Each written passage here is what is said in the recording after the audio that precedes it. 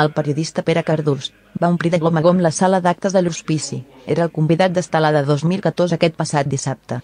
En aquestes primeres xerrades del curs dedicades a les eleccions del 27S, després que Patricia Gavancho analitzés la campanya electoral i les perspectives de resultats, ara li tocava el torn a Pere Cardús, que va analitzar els resultats obtinguts per les diferents candidatures a les passades eleccions catalanes i les possibilitats que s'obren per al present més immediat sobretot per a la configuració d'un nou Parlament de majoria absoluta independentista gràcies als resultats de Junts pel Sí i la CUP, però també quins escenaris s'obren amb les negociacions de cara a investir o no Artur Mas com a president. Pere Cardús ha estat activista polític i actualment és col·laborador de diversos mitjans.